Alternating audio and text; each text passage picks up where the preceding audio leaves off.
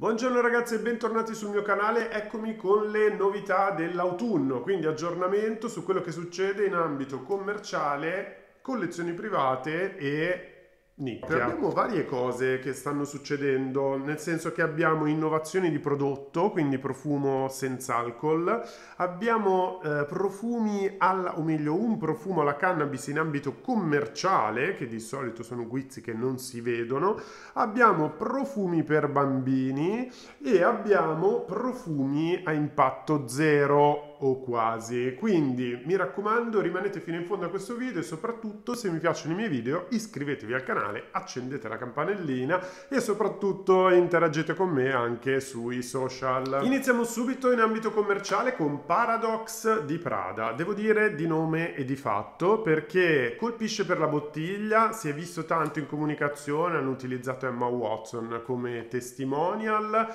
e devo dire che si fa notare con i capelli corti sempre non siamo abituati, nonostante sia passato un bel po' di tempo dalla fine della saga di Harry Potter, però il profumo non colpisce, lo dico, è un floreale muschiato che quindi piacerà molto a chi piacciono i profumi più muschiati, però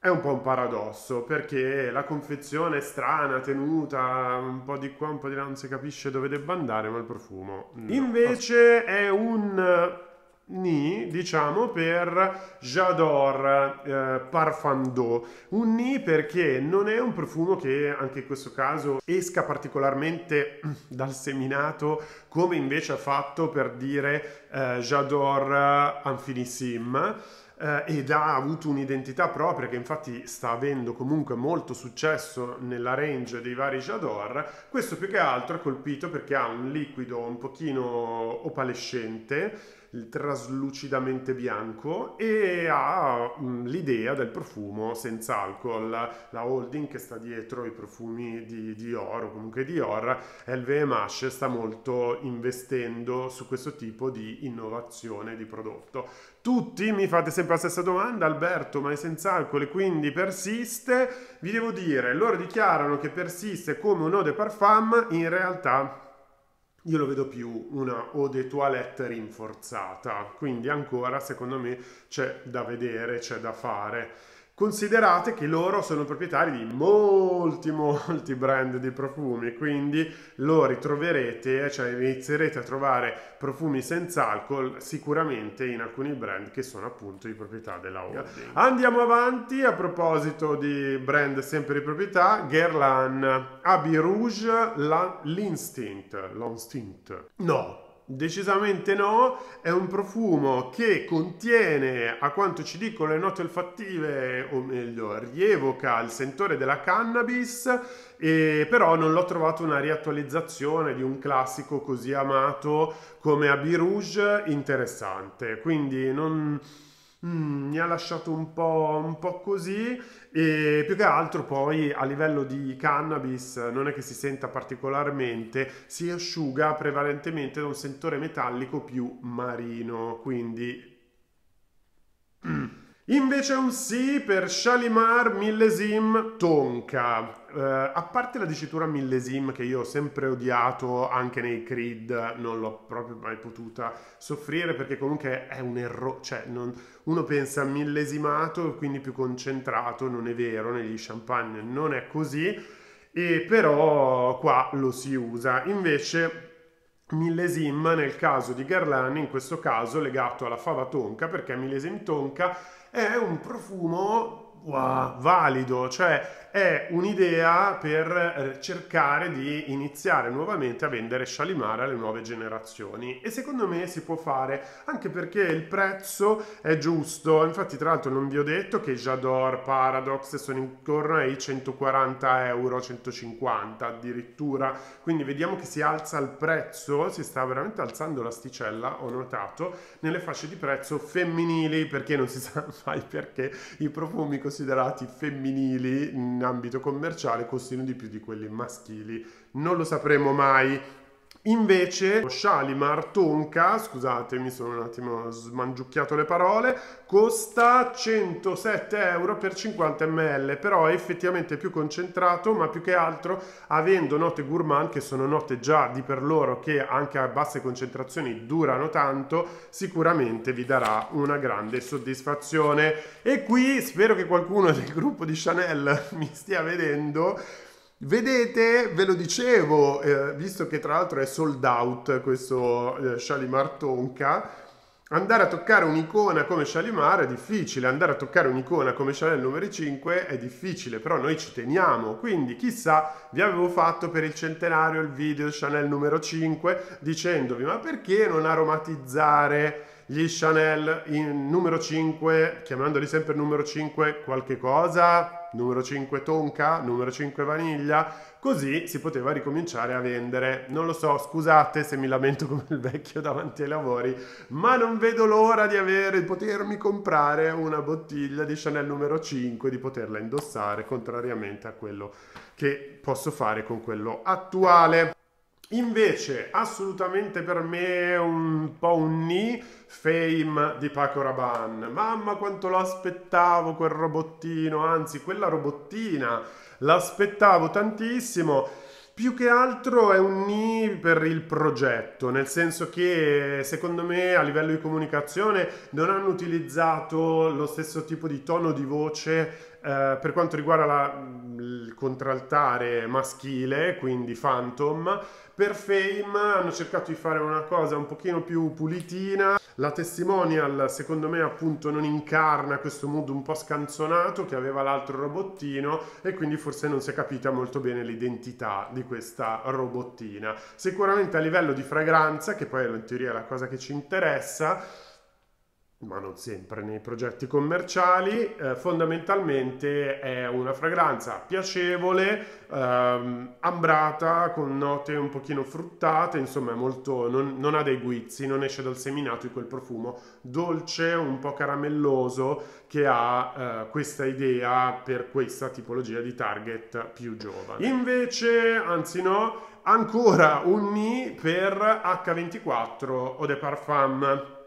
Intanto diciamo che il lato positivo è che abbiamo capito che H24 non è un profumo che deve durare 24 ore, ma è un profumo che è valido per le 24 ore. Quindi me lo voglio indossare per andare alla mattina all'università, lo voglio indossare per andare il pomeriggio fuori con gli amici o con eh, la mia dolce metà, lo voglio indossare per la sera o lo voglio indossare per una festa la notte oppure per un after alla mattina, H24 è versatile, va bene per tutte queste le occasioni, ma non vi aspettate che un po' stile deodoranti, che sto vedendo veramente che mi fa rabbrividire, cioè deodoranti 48 ore, deodoranti 72 ore, ma ci dovremmo lavare, direi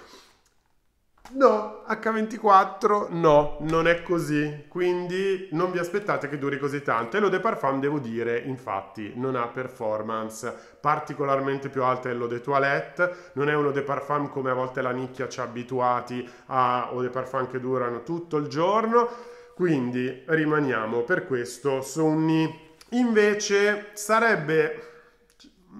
come posso dire, ci sono un po' rimasto male perché Scandal pour Homme di Jean-Paul Gaultier credevo di essere riuscito, eh, scusate, Scandal pour Homme Parfum, le parfum. Credevo di essere riuscito a mettergli le mani sopra e invece no, ho messo le mani sopra l'eau de toilette che io avevo non considerato completamente. Eau de toilette toilette, scusate, tappo rosso, invece Scandalle Parfum che ancora evidentemente in Italia non è arrivato, tappo nero, sempre a forma di corona. E l'eau de toilette, a questo punto vi parlo di questo, vi dico l'eau de toilette mi ha colpito e tra l'altro è veramente sintomatico di come la differenza maschile e femminile veramente nelle fragranze non esista e mi ha colpito perché è veramente similissimo alla franchise Lantardi, quindi andate a sentire Lantardi di Givenchy o De Parfum, andate a sentirli perché veramente se li confrontate quando siete in profumeria è incredibile, sono la stessa cosa. Quindi fregatevene sempre di più di per uomo, per donna, perché è una cosa che non ha senso. Ancora di più! Parliamo poi di invece un sì che è Flora Gorgeous Jasmine di Gucci. È un sì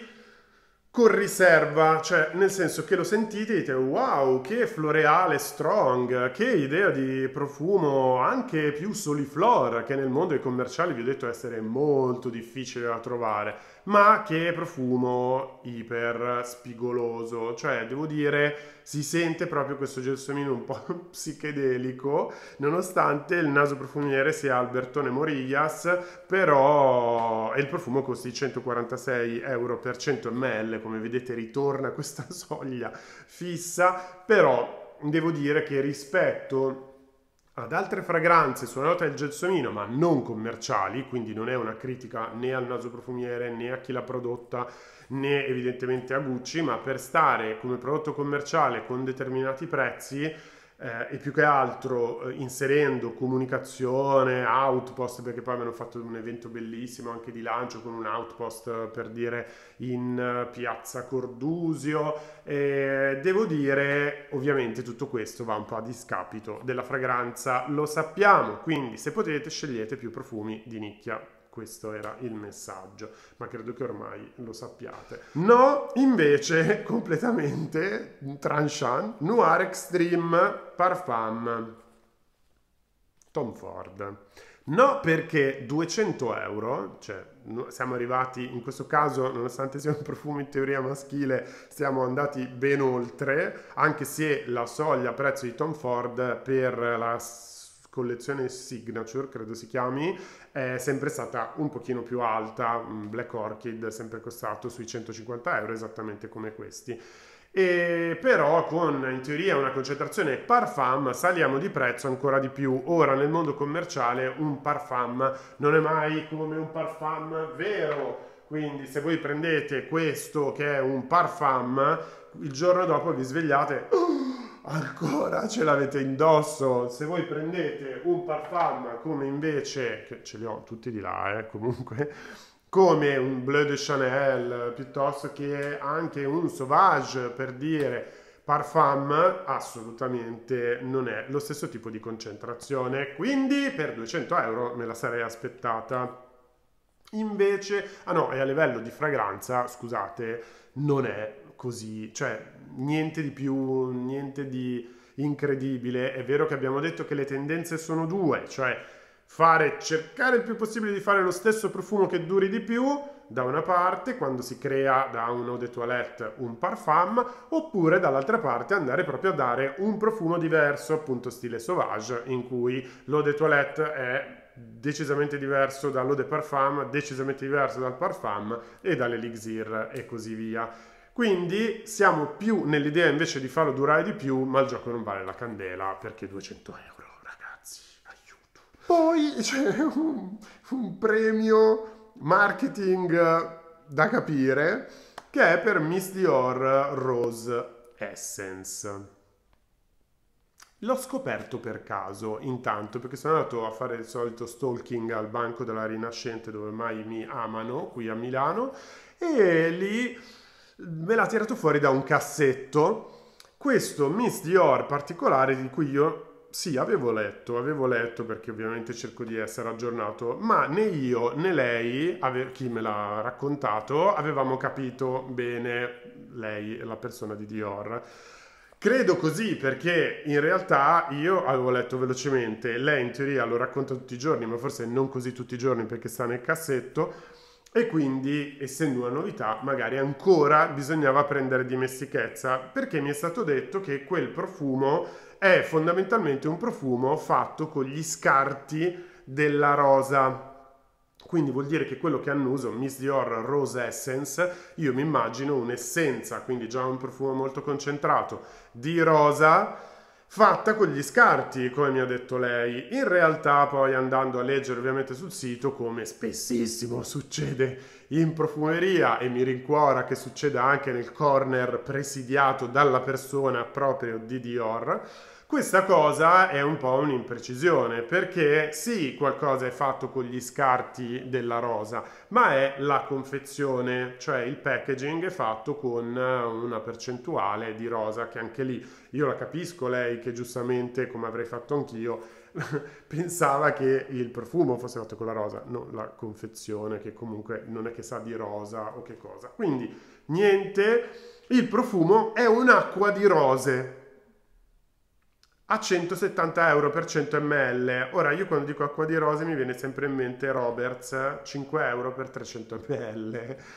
che è l'acqua di rose struccante praticamente. Quindi questo non è uno struccante, è in teoria un profumo che è un'essenza ma non è un profumo, però non è una lamentela ovviamente, giustamente il marketing ci prova, eh, il profumo è molto attento all'ambiente a quanto abbiamo capito a livello di produzione, però forse, vi lascio il papiro da leggere, forse non è così immediato per questo premio marketing particolare. Poi abbiamo anche l'acqua di Parma Magnolia, ma non ve ne parlo praticamente perché è un no, proprio visto che entra in una collezione anche questa si chiama Signature, forse Signature of the Sun se non sbaglio, eh, con prezzo altissimo, direi che per questo profumino muschiatino lievemente florealino assolutamente io non vi consiglio di spendere quei soldi.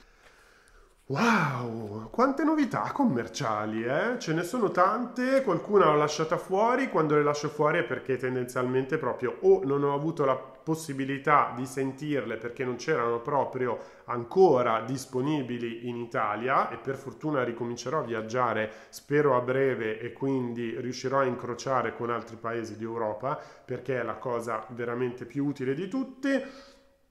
ma altre perché invece proprio non aveva senso parlarne, ma mi raccomando lasciatemi un commento se invece voi intendete dire no Alberto guarda che quella cosa era interessante. Vedo che però mi sto dilungando, quindi corriamo alle collezioni private che comunque sono meno e abbiamo un Ni per Hermes Sans Violet Volinka che è un cuoio, è violetta, 100 ml, 245 euro o de toilette come sempre fa Hermes ispirato a questo cuoio Volinka fondamentalmente a un tipo di concia vegetale o meglio anticamente veniva fatto con un tipo di concia vegetale poi lasciata perdere e che veniva fatta immergendo in bagni di corteccia di betulla e dopo aver triturato tutta una parte di corteccia di quercia, me l'ha spiegato benissimo, ma io l'ho detto Invece male. sì, assolutamente, per quello che io, con grande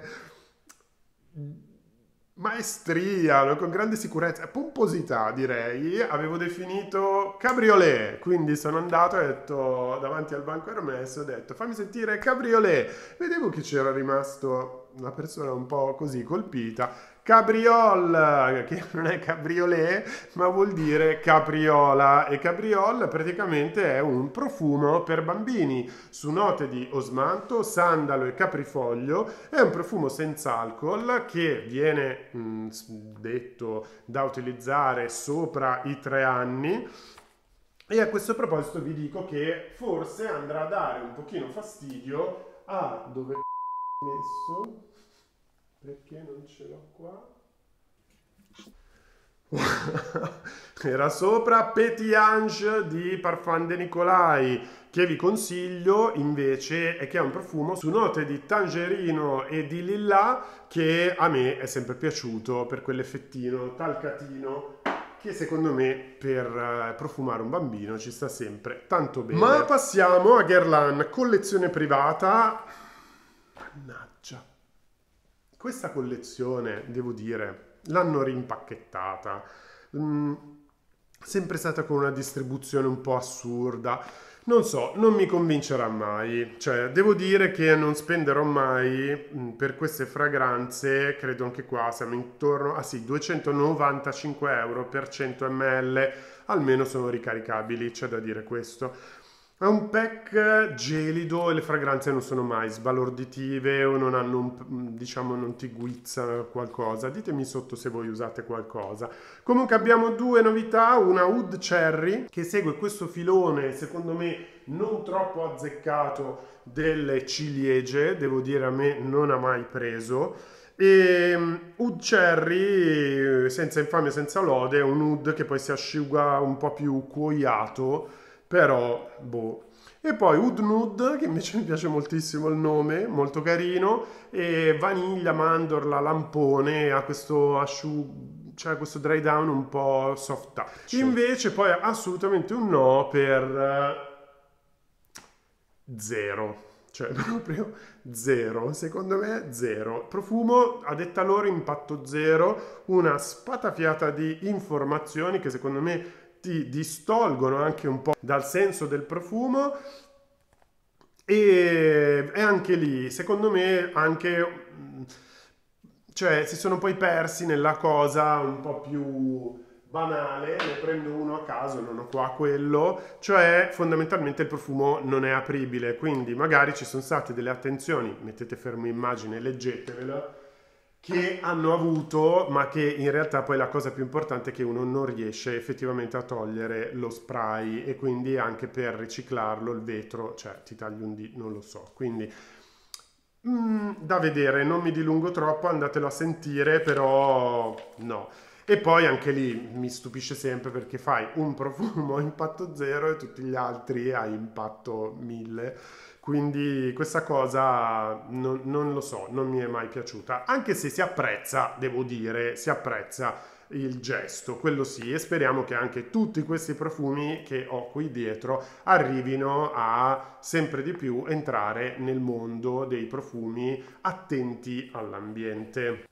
Fine con i profumi di nicchia. Andiamo con un sì che è Uncut Gem di Frederick Mall e mm, naso è cioè, firmato da Maurice Roussel, il profumo ha zenzero vetiver musk, è un legnoso aromatico ambrato e ha dentro anche nota di angelica. Mi ha colpito perché quando ho letto Gem mi aspettavo qualcosa di pulito, rifinito così, e invece giustamente è uncut, quindi è una cosa un po' più grezza e mi è piaciuto, devo dire, è un po' un melange di note di cui, tra le quali non si percepisce una nota più dell'altra, però è abbastanza elegantino. Strussel è quello di Mask Ravageur, quindi se voi già utilizzate il brand sapete vi è piaciuto il mask che so essere un cavallo di battaglia, provatelo. Ni barra O per Legacy of Petra, nel senso che mi piacciono le performance perché dura tanto per essere un Penaligons, cioè il mio video che infatti vi racconterà quanto poco durino,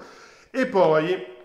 invece l'ho trovato troppo diretto su uh, la liquirizia, cioè poteva essere veramente, se voi lo togliete la bottiglia, lo mettete in un The Library of Fragrance che si chiama liquirizia, che sono quei profumi immediati su una singola nota, veramente sa tantissimo di liquirizia o come mi è stato detto giustamente al corner, sa della, proprio la rotellina di liquirizia Aribo che io mangiavo a manetta, sa proprio di quello, quindi nulla di particolarmente elegante. Quando poi invece assolutamente un no per Eyes Closed di Byredo, cioè chiudiamo veramente gli occhi, ma nel senso che già dopo il primo spray senti questa fragranza che dopo due ore non senti assolutamente più. E ritorna anche qui quanto vi avevo detto nel video di Byredo andatevelo a vedere perché è un po' imbarazzante cioè si creano quelle scene in cui mi metto veramente nei panni del venditore